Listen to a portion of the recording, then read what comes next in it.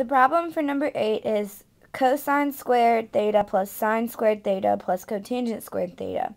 And if you start off and you look at cosine plus sine squared, um, you know, well, if you look in the book, cosine squared theta plus sine squared theta equals 1. So you've already used this, and you know that you have cotangent left over.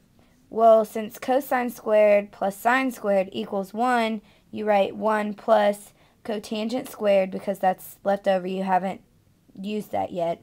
And if you look in the book for that, it says that 1 plus cotangent squared equals cosecant squared. So cosecant squared theta is your answer.